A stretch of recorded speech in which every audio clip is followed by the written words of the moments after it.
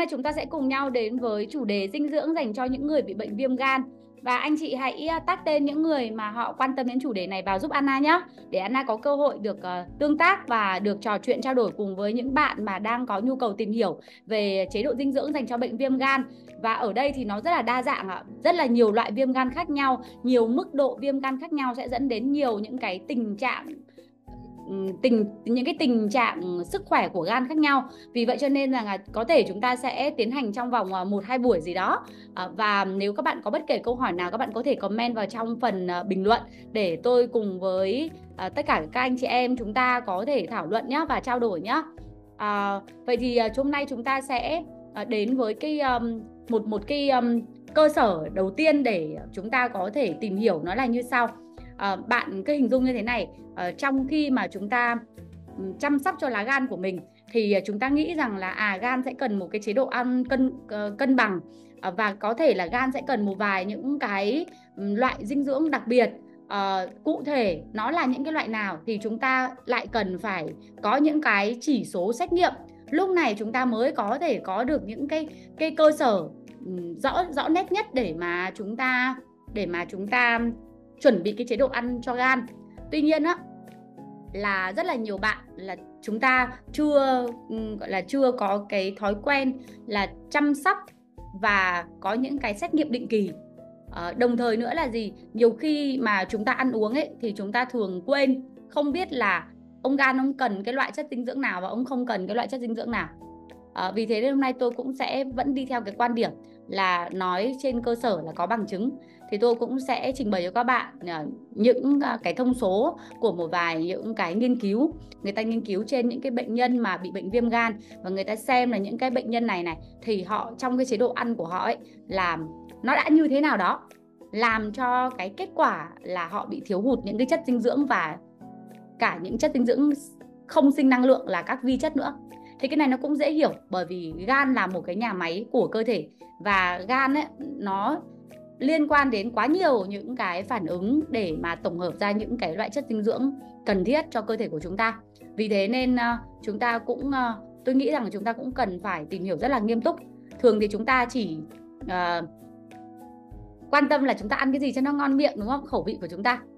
Và cái từ mà học ăn học nói học gói học mở là hay nói về cái văn hóa ăn uống cách hành xử khi ăn uống. Chứ chúng ta chưa bao giờ chúng ta để ý hình dung xem là dạ dày cần cái gì gan cần cái gì mật cần cái gì thận cần cái gì xương khớp cần cái gì da mặt cần cái gì não bộ cần cái gì quả tim cần cái gì. À, và chính bởi vì là chúng ta chưa có thực sự học cái cách ăn cho nên chúng ta thường ăn sai. Và ngay cả khi chúng ta gọi là khi chúng ta khỏe chúng ta ăn sai đúng không? Là một chuyện.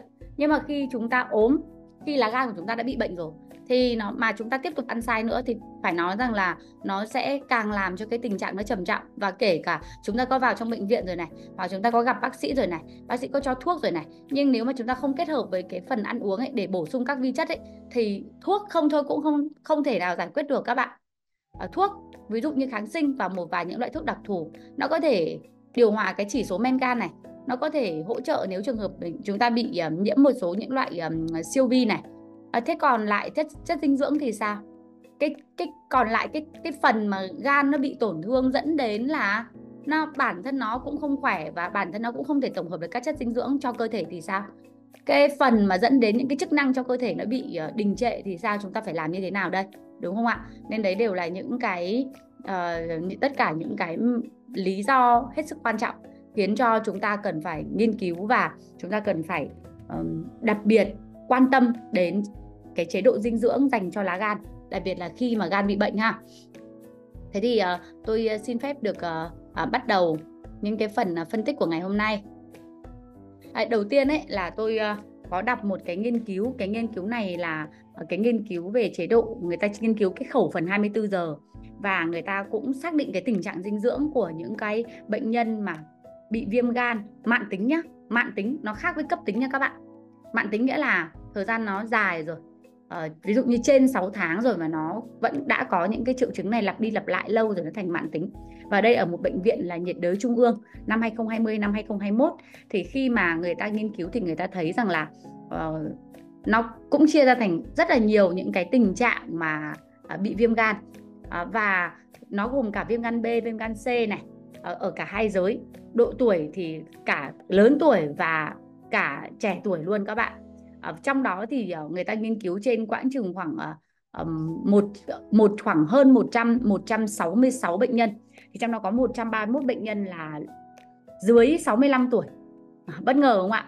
Chỉ có 35 bệnh nhân là trên 65 tuổi tôi nghĩa là bệnh nhân mà dưới 65 tuổi là chiếm cỡ khoảng 79% và trong đó nó còn có cái tình trạng gọi là sơ gan còn bù và sơ gan mất bù. Cái khái niệm này tôi chia sẻ một chút để anh chị em hiểu. Cái sơ gan tức là đầu tiên nhá tại sao nó lại diễn biến thành sơ gan này? Tôi nói một cách dễ hiểu thôi nhá chứ tôi không nói ở quan điểm ở, ở góc độ bệnh lý nhá. À, bình thường gan của chúng ta bị tổn thương gan có thể bị nhiễm mỡ mà bị tổn thương hoặc cũng có thể là gan đang bị um, nhiễm siêu vi cho nên bị tổn thương. Thế tôi lấy một tình trạng nhiễm mỡ đi cho nó dễ hiểu vì nó có liên quan mật thiết đến cái phần dinh dưỡng của chúng ta. Giả sử như là gan của chúng ta bị nhiễm mỡ thì cái nhiễm mỡ ấy, à, khi mà mỡ nhiễm vào những cái mô gan nó sẽ làm cho những cái mô gan của chúng ta ấy nó bắt đầu bị rối loạn về chức năng. Thế thì lâu dần cái nhiễm mỡ độ 1, độ 2 mà chúng ta không giải quyết được thì nó sẽ bắt đầu tiến triển thành những cái ổ bị sơ gan. Thì ở trong cái mô gan ấy nó có cái tế bào nhu mô gan. Nhu tới những tế bào nhu mô là những tế bào mà thực hiện được đúng cái chức năng của gan. Thế bây giờ nó bị chiếm chỗ bởi mỡ rồi, nó nôm na như vậy ha. Và cái việc các cái tế bào bị nhiễm mỡ thì nó cũng sẽ ảnh hưởng đến chức năng nữa. Thế dần dần á, là những cái tế bào mới của gan nó không còn tế bào nhu mô gan nó không còn đủ lượng nữa thì nó gọi là những cái cái ổ mà bị sơ ấy, là những cái chỗ đấy nó không còn những tế bào gan mà có thể thực hiện được chức năng. Thế thì sơ gan còn còn bù có nghĩa là vẫn còn có thể sinh sôi ra những cái tế bào mới để bù đắp lại. Còn sơ gan mất bù là không còn có thể sinh sôi ra được nữa. Thì cái sơ gan mất bù sau này nó còn phát triển thành sơ gan cổ trướng ấy, nó có rất là nhiều những cái triệu chứng mà nó bất ổn.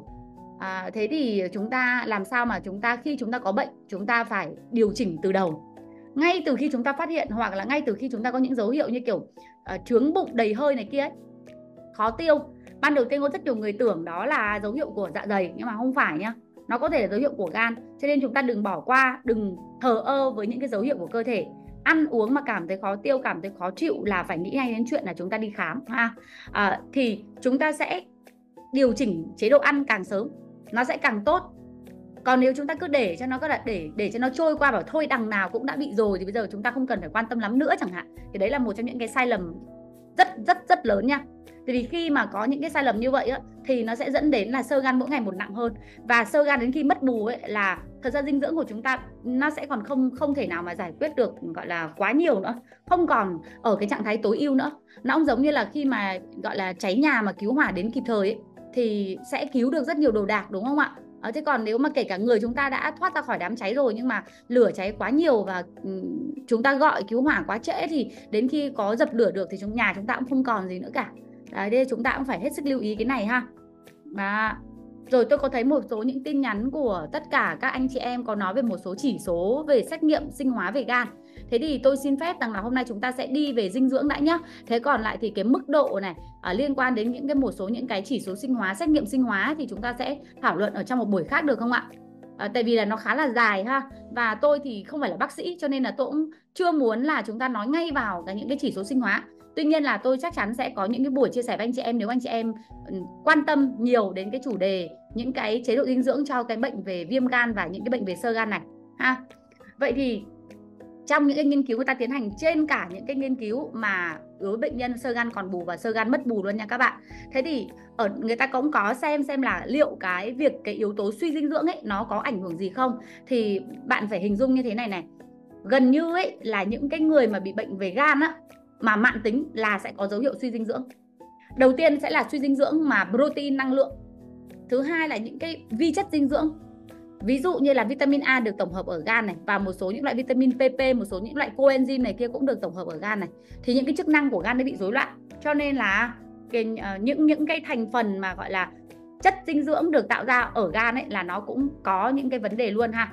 Đấy, thế thì uh, chúng ta cũng phải hết sức để ý đến cái này để mà chúng ta có những uh, chúng ta có những cái chế độ dinh dưỡng uh, hợp lý ha à, chứ không phải là gan là chỉ cần chữa cho gan cho cho gan à, gọi là cho gan hết ốm là được đâu ha? Không phải là như vậy ha?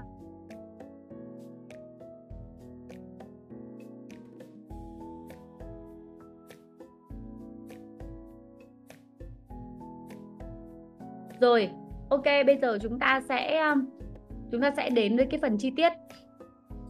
Thế thì á đầu tiên là người ta tính đầu tiên tính năng lượng tính xem năng lượng của những người mà bị sơ gan, người ta đang ăn uống như thế nào, những người bị viêm gan ta đang uống, ăn uống như thế nào. Bởi vì chúng ta sẽ thấy một cái tình trạng chung là người ta không ăn uống được, đúng không các bạn? Người ta ăn uống kém. Thế thì từ cái việc mà ăn uống kém như vậy thì mình phải hiểu là kém cụ thể là như thế nào. Thì những người này đó, người ta ăn trung bình cỡ khoảng 1130 có cộng trừ khoảng 500 kcal vậy thì nói chung là người ta ăn cỡ khoảng từ 1200 1001 cho đến khoảng 1600 kcal đó các bạn một ngày thì tất nhiên là cái này mình nhìn sơ qua là mình thấy là nó không không không đủ rồi. Nó không đủ so với cái ờ, nhu cầu của cơ thể rồi. Thì cái tỷ lệ mà không đạt á, là khoảng cỡ 87% 87% số người bị bệnh sơ gan bị bệnh viêm gan trong những cái nghiên cứu này là không ăn đủ năng lượng. Thì nó sẽ dẫn đến là thiếu năng lượng trường diễn. Mà bạn biết rằng là ở cái độ tuổi của chúng ta mà trên 40 thôi nhá tôi chưa nói là trên 65 thì chúng ta phải hiểu là cái quá trình gọi là sinh ra những cái thành phần của cơ thể nó gọi quá trình đồng hóa. Và nó có quá trình dị hóa là quá trình mà phân giải, phân hủy. Thì chỉ cần ngoài 40 thôi thì quá trình phân hủy nó diễn ra rất là mạnh. Mà nếu chúng ta ăn uống không bù đắp được ấy, mà chúng ta cứ ăn kiêng, kiểu ăn kiêng quá đà, đặc biệt là một số người mà lại còn sợ là bị ăn nhiều, bị mập nữa, bị béo nữa, thì mình có những cái quan điểm nó hơi sai lầm ấy.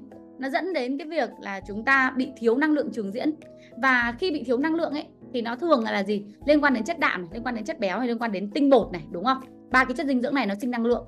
Thì nếu mà viện bị thiếu trường diễn là thiếu dài hạn thì nó sẽ phân hủy những cái cơ quan gọi là một số những cái cấu trúc ở bên trong cơ thể của chúng ta ra. Đó là điều chắc chắn. Và lúc này rất là dễ dẫn đến suy mòn có nghĩa là bị thiếu hụt rất là nhiều những cái loại chất dinh dưỡng khác nhau à, và thực ra trong quá trình mà phân hủy những cái cấu trúc protein của cơ thể nó còn tạo ra một cái hợp chất có liên gọi, gọi là ure và cái cái cái cái gọi là cái chỉ số ure máu ấy nó nếu mà nó bị tăng lên thì nó rất là nguy hiểm đối với sức khỏe của chúng ta. Cho nên nó không hay ho gì cái chuyện là chúng ta ăn quá ít hoặc chúng ta ăn kiêng quá nhiều. Nó nó cái đấy nó rất là nguy hiểm đặc biệt ở cái ở, ở cái độ tuổi của chúng ta không còn độ tuổi thanh niên nữa ha? Anh chị em phải để ý cái này vậy thì người ta đang ăn thiếu chúng ta sẽ phải làm sao để chúng ta có thể sử dụng những cái loại thức ăn ấy mà nó gọi là bù đắp được những cái phần năng lượng mà bị thiếu hụt này. Chứ còn nếu mà chúng ta mà cũng không sử dụng những cái loại thức ăn để có cái khả năng bù đắp được ấy thì nói thật là để lâu về lâu về dài ấy là nó khó giải quyết lắm các bạn. Cực kỳ khó giải quyết ha. Rồi. À, cái thứ hai nữa đó chính là cái ờ, cái cái lượng đạm. Đầu tiên á là tổng lượng tổng lượng năng lượng được chưa? Bây giờ bắt đầu đến cái lượng đạm cái lượng đạm là người ta quy định là gì? Tối thiểu phải là 0,6 gram trên 1 kg trọng lượng cơ thể. 0,6 gram này là đối với những người mà gọi là chức năng thận suy giảm ấy thì người ta cũng mới cho ăn cái này. Chứ còn bình thường là sẽ ăn khoảng 1 gram trên 1 kg trọng lượng cơ thể hoặc bèo nhèo gì thì cũng phải 0,8 gram trên 1 kg trọng lượng cơ thể. Tôi tính cho các bạn nhé một người mà nặng khoảng 60 cân thì anh ta sẽ cần nếu mà 1 1 gram trên 1 kg sẽ cần khoảng 60 gram. 60 gram này sẽ chia quãng chừng khoảng cỡ là uh, thành 3 phần thì một tối thiểu 1 phần 3 phải đến từ động vật. Được chưa còn 2 phần 3 phải đến từ thực vật. Nếu chúng ta không ăn đủ những cái loại uh, tinh bột hoặc là ăn đủ loại các loại rau quả này thì chắc chắn chúng ta cũng bị thiếu cả cái lượng đạm mà từ thực vật. Mà chúng ta ăn không đủ cái lượng uh, protein động vật thịt cá thì tôm tiếc ạ thì chúng ta cũng bị thiếu luôn cả protein động vật. Bạn cứ tính ra cứ khoảng 100 gram thịt cá thì sẽ có khoảng 20 gram uh, chất đạm vậy nếu giả sử mà ít nhất một ngày thì phải ăn được lạ là những cái loại protein từ động vật, còn từ thực vật là đến từ cơm, đến từ rau, đến từ những loại ngũ cốc. Đấy thì đến từ những loại hạt thì gọi là protein thực vật. Thế nhiều khi chúng ta ăn không được ấy, chúng ta lười cả ăn rau nữa, lười nhai nữa. Đó, thế thì chúng ta sẽ thiếu cùng lúc cả hai cái loại này chứ không phải là thôi thì cứ ăn thịt cá vào là đủ đâu nha các bạn. Nó phải có một cái sự cân bằng ha. Đặc biệt những người bị bệnh gan thường à, hoặc là mật ý, thì thường người ta sẽ phải giảm bớt cái tỷ lệ cái hàm lượng chất béo xuống. À, để nương nhẹ cái chức năng cho gan. Thì nếu mà giảm nhẹ ờ, cái chất béo xuống rồi cái protein á, thì phải giữ nguyên. Vì protein không thể nào mà giảm đi được các bạn. Chỉ trường hợp bị thận thôi còn nếu không thì không ai mà giảm cả. Người ta phải giữ nguyên thì người ta sẽ phải tăng cái lượng tinh bột lên. Đúng không ạ? Tăng cái lượng năng lượng đến từ tinh bột và các loại carbon hydrate lên à, bao gồm cả rau quả. Thì chúng ta cũng phải hết sức để ý cái, cái chỗ này ha à, đấy là một trong những cái điều đặc thù. À, thì đối với protein á, tại sao nó lại hết sức quan trọng đối với những bệnh bệnh nhân mà bị về bệnh về gan? Bởi vì là trong cơ thể chúng ta ấy, trong dòng máu chúng ta ấy, nó có một cái protein tên là albumin. Cái protein này này nó sẽ giúp cho cơ thể của chúng ta có thể giữ được cái áp lực thẩm thấu ở trong dòng máu và làm giữ được nước trong dòng máu. Thế nếu như trường hợp bị suy dinh dưỡng ấy nó có cái loại là suy dinh dưỡng thể phù các bạn. Thế thể phù nghĩa là như thế nào? Thể phù nghĩa là rõ ràng là anh bị suy dinh dưỡng. Thế nhưng mà cái cái cái anh lại bị phù phù chân này phù ở bụng này. Đó là bởi vì khi mà gan bị tổn thương cơ thể không tổng hợp đủ được cái loại albumin. Rồi cái lượng chất đạm ăn vào ít quá không đủ nguyên liệu để tổng hợp à, protein là albumin. Cho nên là nó sẽ không giữ được nước ở trong dòng máu nữa mà nước nó sẽ thoát ra ngoài qua những cái gọi là mô kẽ và làm chúng ta bị phù. Nghĩa là trông này uh, cái số đo vòng cánh tay rất là nhỏ ha xương sườn thì lòi ra gầy nhưng mà chân thì phù ra vào bụng thì to đùng ra nó gọi là suy dinh dưỡng mà thể phù. Chúng ta phải hết sức để ý nha. Nhiều lý do dẫn đến phù trong đó có suy dinh dưỡng có những người bệnh nhân bị bệnh về gan.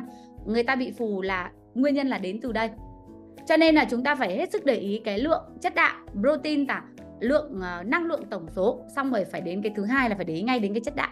Xem là nó có đạt hay không. Thì trong cái nghiên cứu này thì có tới là 82,5% là không đạt.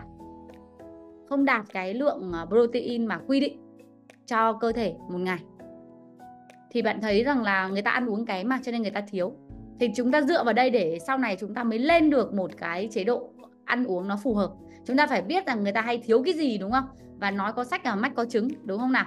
Đây nhá, tôi ờ, xin phép và tôi sẽ ờ, chia sẻ lên cho các bạn để cho các bạn có thể ờ, thấy được luôn này. Đây. Chưa? Đấy. Chứ không thì chúng ta, kiểu, chúng ta không không có những cái con số thì nhiều khi chúng ta sẽ tưởng là do người ta cứ khuyến nghị thế thôi. Không có đâu các bạn thường những thông tin mà khuyến nghị là phải dựa trên rất là nhiều những cái nghiên cứu và các nghiên cứu phải có cái ý nghĩa thống kê. Thì cái thứ mà tôi vừa nói với các bạn nó chính là cái dòng protein này nhá. Được chưa ạ? Rồi bây giờ mình sẽ đến đến cái tiếp theo là cái vitamin A. Cái vitamin vitamin A ấy, thì nó được tạo ra ở trong gan mà. Bình thường chúng ta ăn những cái loại à, thực vật ấy nó là tiền chất của vitamin A chứ nó chưa phải là vitamin A.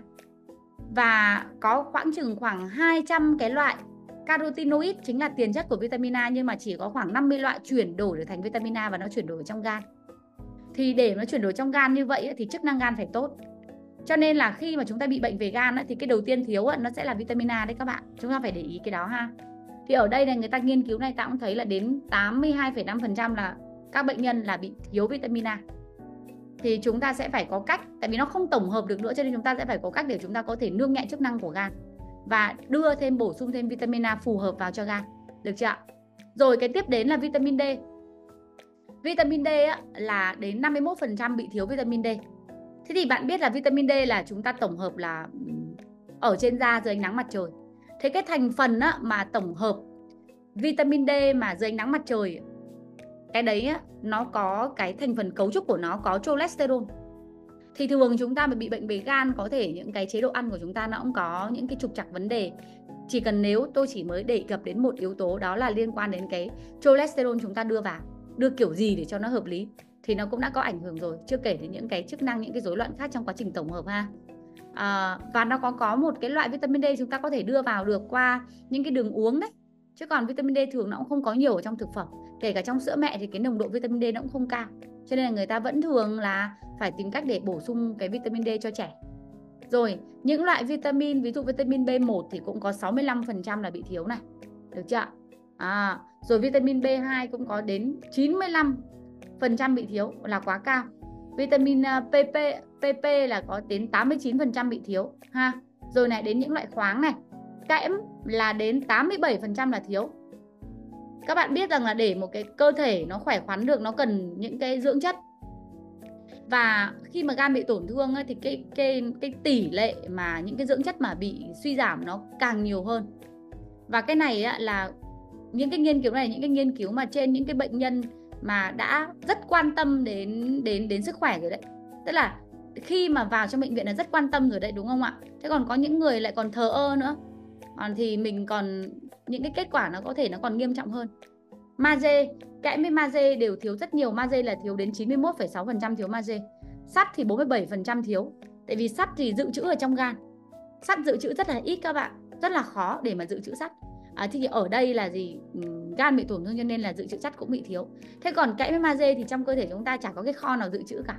Ít lắm nha các bạn rất là ít. Cho nên thường chúng ta phải đưa vào hàng ngày thế và để cho tế bào phân chia lên này để cho những cái chức năng trong cơ thể được hoạt động trơn tru này rất là cần kẽm và magie ha. Rồi canxi. Canxi thì đến 93,4% là bị thiếu.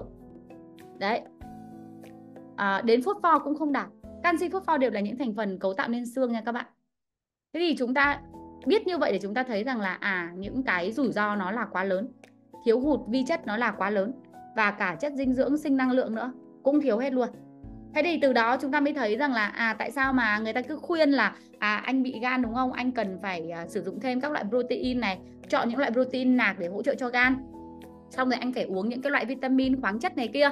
Thì thường là chúng ta sẽ có những cái khuyến nghị như vậy. Ngay cả trong ờ, đội ngũ các huấn luyện viên dinh dưỡng mà học chuyên sâu lớp chuyên sâu tại Yobo Academy họ cũng kinh doanh rất nhiều những cái sản phẩm. Nhưng mà khi mà họ có bệnh nhân bị bệnh về gan ấy thì thường ấy là họ sẽ làm theo yêu cầu của bệnh nhân. Kiểu như à tôi đang có bệnh về gan thì có cái món nào để tăng đề kháng không chẳng hạn. Đấy tôi đang bị viêm gan bởi vì tôi nhiễm à, các loại siêu vi thì có gì để tăng đề kháng không? Thế các bạn phải hình dung rằng là cái đầu tiên á, là mình phải xác định được là người bị viêm gan người bị những cái trường tình trạng về sơ gan thì họ sẽ bị thiếu hụt những cái loại chất dinh dưỡng kể cả vi chất và kể cả protein. Để chúng ta cung cấp những cái vitamin khoáng chất một ngày cho tất cả những người bệnh này chứ không phải là chúng ta chỉ uh, làm theo yêu cầu của bệnh nhân hoặc là chúng ta có những cái hợp chất nào đó có những cái sản phẩm nó mà nó có gọi là nó được sản xuất ờ, độc đáo đặc thù để cho quá trình thải độc và hỗ trợ cho hồi phục của gan ấy. À, thế nhưng mà chúng ta thiếu đi những cái chất dinh dưỡng cơ bản hàng ngày nó cũng sẽ làm cho cái quá trình hồi phục của gan nó sẽ bị ít đi. Được không ạ? À, tỷ lệ thiếu này là trên bệnh nhân gan nha Nguyễn Thắm các bạn đang comment vào trong ờ, ô chat tôi sẽ đi tôi trả lời một vòng nhé cái tỷ lệ này là tỷ lệ người ta nghiên cứu trên khoảng 166 bệnh nhân bị bệnh về gan và sơ gan ở bệnh viện nhiệt đới năm 2020 2021 nha các bạn. Tức là nó sẽ có rất là nhiều nghiên cứu chứ không phải là nó chỉ có một nghiên cứu và thường có những nghiên cứu ở những cái nhóm uh, nhóm quần thể khác nhau nó sẽ cho ra những cái kết quả nó sẽ có những cái sai khác. Nhưng mà thường trong nghiên cứu người ta sẽ thường có so sánh với những cái nghiên cứu có cái tính chất tương đồng trước và trước đó để người ta đưa ra những cái tỷ lệ. Thế cái này không có phải là do chúng ta tự nghĩ ra mà là do những người bị bệnh trên những người bị bệnh nha. À, Đấy, các bạn có thể tiếp tục comment thì tôi sẽ chia sẻ và, và giải đáp những câu hỏi của các bạn nha. Tại vì tôi uh, tôi tôi tôi nó nó trôi qua nó trôi qua nhanh nên là các bạn comment thì tôi sẽ uh, tôi sẽ biết là các bạn đang cần phải được nhắc lại ở cái phần nào nha. Rồi, bây giờ chúng ta sẽ đi chúng ta phân tích một chút lý do tại sao mà nó lại dẫn đến những cái thiếu hụt như vậy. Xin chào tất cả các anh chị em nha.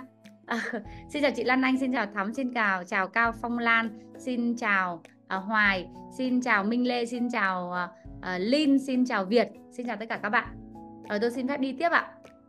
Bây giờ chúng ta sẽ tìm hiểu tiếp xem là cái nguyên nhân vì sao và các nhà khoa học những người mà người ta nghiên cứu về những tình trạng bệnh này người ta đánh giá như thế nào về cái cái những cái tình trạng thiếu hụt như vậy.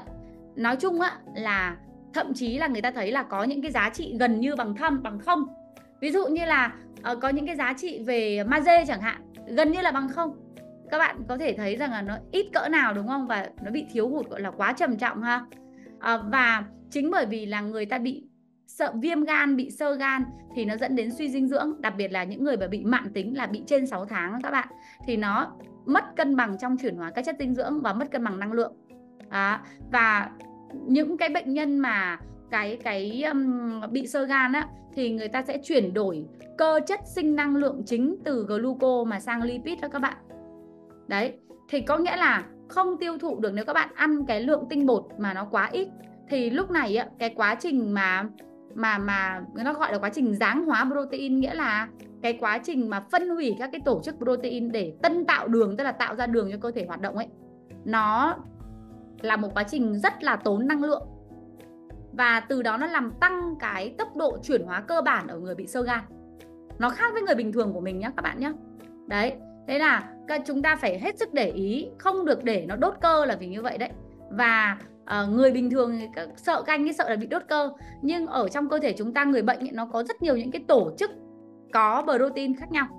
Nó sẽ ưu tiên cái việc có năng lượng cho cơ thể hoạt động. Và quá trình mà phân hủy cái này nó cũng lại tốn năng lượng nữa. À, và bởi vì người bệnh nhân gan á, thường người ta có thể có cảm giác là nhanh bị đầy bụng á vì là giảm hấp thu này bởi vì giảm bài tiết mật này rồi tăng cái áp lực qua cái áp lực tĩnh mạch cửa gan này rồi uh, có thể là có cả những cái bất ổn liên quan đến vi khuẩn đường ruột này thậm chí có thể ảnh hưởng đến viêm tụy này thậm chí là có những cái trường hợp thay đổi dẫn đến người ta bị kháng insulin này nghĩa là tăng cả cái chuyển hóa lúc nghỉ ngơi. Tức là đã ăn đã ít rồi đã bị thiếu hụt những cái chất dinh dưỡng rồi lại còn tăng bị tăng tốc độ chuyển hóa nữa cho nên là nó lại càng thiếu hụt trầm trọng hơn ha. Và người ta thấy rằng là cái tỷ lệ suy dinh dưỡng ở người bệnh sơ gan ấy bình thường á, đang còn bù á, là nó quãng chừng khoảng 20% và đến khi sơ gan mà mất bù thì á, nó quãng chừng khoảng 60% đó người ta sẽ dựa vào đấy để người ta thấy rằng là cái số lượng người mà bị suy dinh dưỡng nó chiếm khá là nhiều trong những bệnh nhân mà bị sơ gan ở chưa? Và đây là cái nghiên cứu này thôi chứ còn lại có một nghiên cứu khác. À, có một nghiên cứu khác à, thì người ta nghiên cứu là thấy bị kiểu cao hơn. Ví dụ những trường hợp sơ gan mà điều trị ngoại trú có thể đến 40% à, và có những cái nghiên cứu khác lại còn cao hơn nữa ha? À, thế thì nó sẽ tùy từng cái nhóm mà người ta nghiên cứu thì cái tỷ lệ suy dinh dưỡng nó sẽ khác nhau. Nhưng những cái dấu hiệu suy dinh dưỡng thì nó là như nhau ha các bạn? Những cái loại chất dinh dưỡng thường bị thiếu nó là như nhau người bị bệnh về gan nó cũng có thể là bị giảm lượng thức ăn ăn vào và bị cảm thấy rằng là ừ, khó ăn bởi vì là buồn nôn bị nôn và thậm chí là chán ăn nữa ha à, và chính những cái tình trạng đó nó sẽ ảnh hưởng đến cái những cái mức độ những cái vi chất dinh dưỡng ở bên trong cơ thể đó. và người ta thấy là những người bị bệnh gan mà mạng tính ấy là trên 90% có ít nhất một cái triệu chứng trở lên à, đau bụng này thay đổi vị giác này chán ăn này. À, nên là từ đó nó làm giảm cái khẩu phần ăn và cứ giảm kéo dài nó dẫn đến suy dinh dưỡng. Và trong cái nghiên cứu của tác giả này thì họ thấy rằng là cái cái um, giá trị trung bình của một khẩu phần là 20 kcal trên 1 kg trên ngày. Là cái này là rất thấp nha các bạn. Bình thường ấy là chúng ta sẽ tối thiểu á, là theo những cái hướng dẫn của Epsen à, S Espen. Thì những cái hướng dẫn của Espen thì thường là những cái hướng dẫn này cả thế giới họ dùng và ở Việt Nam chúng ta cũng thế, thì lúc mà tôi xây dựng thực đơn tôi cũng dùng cái hướng dẫn này nghĩa là người bình thường sẽ ăn khoảng 30 đến 35 kcal trên kg trên ngày, với cái mức độ là hoạt động thể lực ấy, là mức độ nhẹ Thế mà bây giờ thì ở đây thấy rằng là người ta chỉ ăn có 20 kcal trên kg trên ngày, như vậy là thiếu hụt rất là nhiều. Vậy thì thiếu hụt 1 phần 3 rồi đúng không các bạn? 1 phần 3. Nên là cái, từ cái việc này, nên nó mới dẫn đến là cái việc mà thiếu hụt protein rất là cao, đến gần 87% là thiếu protein. Đó, để cho anh chị em chúng ta có thể hình dung ra được là ừ, những cái tình trạng ấy nó đang bất ổn đến cỡ như thế nào nha và cái sự thiếu hụt vitamin thì lúc nãy chúng ta có nói nó liên quan đến chức năng gan giảm dự trữ mức độ nghiêm trọng và chế độ ăn trong chế độ ăn uống không đủ và cả là kém hấp thu. Thường á, là những cái loại vitamin tan trong dầu là ADEK à, thì à, cái cái nó sẽ đường được dự trữ ở trong mô mỡ và dự trữ ở gan. Cho nên là khi mà nó ờ, gan bị tổn thương thì nó sẽ bị ảnh hưởng đầu tiên. Nên chúng ta cần phải bổ sung nha. À, rồi những cái tôi nhắc lại là những cái cái cái ờ, loại chất dinh dưỡng như là canxi như là magie như là sắt là kẽm thì nó bị thiếu hụt nhiều. Cho nên chúng ta liên tục phải có những cái đợt đánh giá xét nghiệm một tháng hai tháng. Các bạn phải có những cái xét nghiệm định kỳ để mà có những cái điều chỉnh về chế độ ăn uống cho nó phù hợp ha. Và cái khẩu phần ăn á, ở bệnh nhân gan mà nó cân đối thì nó sẽ có cái ý nghĩa rất là lớn để mà góp phần uh, hồi phục và giảm bớt những cái nguy cơ kiểu thừa thiếu những chất dinh dưỡng uh, liên quan đến gan ha. Uh, đa phần là người bị bệnh về gan thì không đủ cái cái cái tỷ lệ về vitamin và về khoáng chất nha thế nên chúng ta cũng phải hết sức ờ, để ý đến cái tình trạng này ha. À, thế thì khi mà chúng ta có những cái bệnh về gan đó các bạn thì ờ, bản thân tôi tôi thường hay hướng dẫn cho mọi người sử dụng một cái loại protein tên là BCAA hôm nay tôi không phải hôm nay tôi không bán nhé.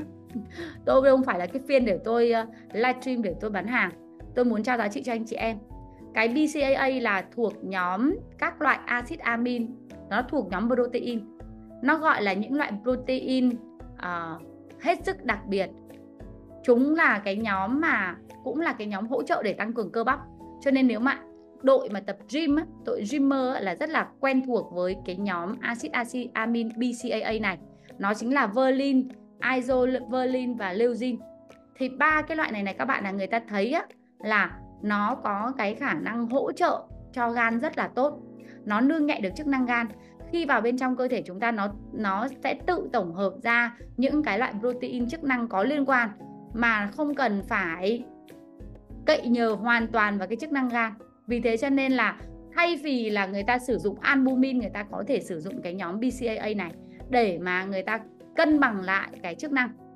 Và người ta cũng thấy rằng là nó uh, cũng hỗ trợ giảm bớt những cái tình trạng suy dinh dưỡng do thiếu albumin này những tình trạng uh, hôn mê gan này có nghĩa là những tình rồi những tình trạng mà bị bệnh gan ảnh hưởng đến não này à, nó hỗ trợ hồi phục chức năng rất là tốt.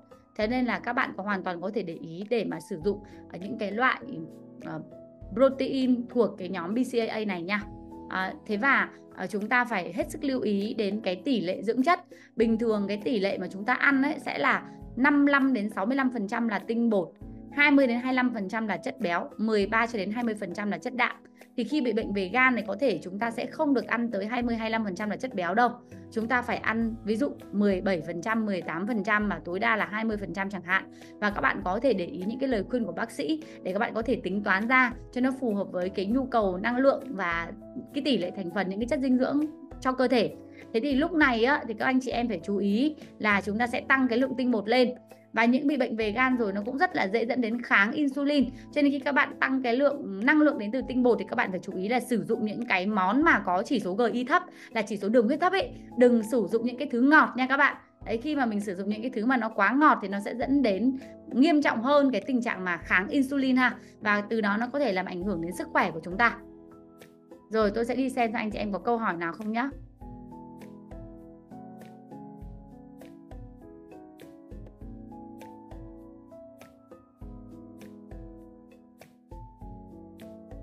nếu như mà chúng ta để ý đến những cái yếu tố đấy thì nó cũng sẽ hỗ trợ cho chúng ta khá là tốt trong cái việc các bạn điều chỉnh những cái uh, loại thực phẩm chúng ta ăn để hỗ trợ thêm cho những cái tình trạng bệnh lý này nha. Um, có những bạn hỏi là nếu mà ăn cực ít mà vẫn béo phì vẫn dư cân thì có phải là rối loạn ở gan hay không? Thực sự thì có một phần nó có thể là do rối loạn ở gan nhưng ở đây thì nó rối loạn trao đổi chất thì đúng hơn nếu như mình được ấy thì mình nên đi khám. Mình đi khám để mình có cái loại trừ những cái bệnh. Và mình biết được nguyên nhân là bệnh nó chiếm um, tỷ trọng như thế nào. Cho một cái kết quả là nhìn cái hình dáng bên ngoài chúng ta có những cái chỉ số sinh chắc à, nó đặc thù. À, thì sau khi mình đã loại trừ cái nguyên nhân đấy rồi thì lúc này mình sẽ tìm cách để mình điều chỉnh lại cái cường độ trao đổi chất. Tại vì là đa phần những người bị bệnh về gan này người ta hay bị suy dinh dưỡng. Cũng có những người bị bệnh về gan mà gọi là bị mà tròn á, béo dư cân thường là những cái tình trạng liên quan đến ờ, gan nhiễm mỡ ha. Thì ờ, chúng ta cần phải có thêm những cái thông số để chúng ta có những cái hướng chăm sóc về dinh dưỡng nó phù hợp hơn. Chứ ờ, những cái tình trạng mà chuẩn đoán bệnh thì đấy là việc của bác sĩ. Thì anh chị em chúng ta hết sức lưu ý hai cái phần này nha nó có cái sự khác nhau. À, và hôm nay thì tôi xin phép được uh, kết thúc cái phiên livestream ở đây.